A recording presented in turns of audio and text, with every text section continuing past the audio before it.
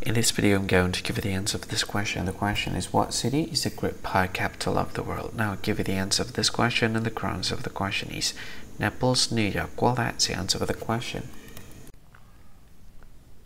Hi, thank you so much for watching this video.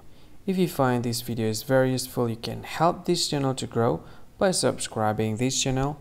Please this subscribe button and don't forget to like this video.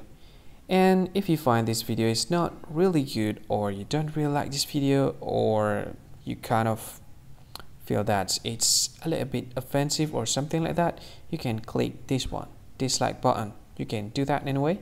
And if you want to share this video with your friend, you can share it by clicking this share button and you can share it to any any social media that you wish that is currently available at this time like Facebook, Twitter, LinkedIn, and many others.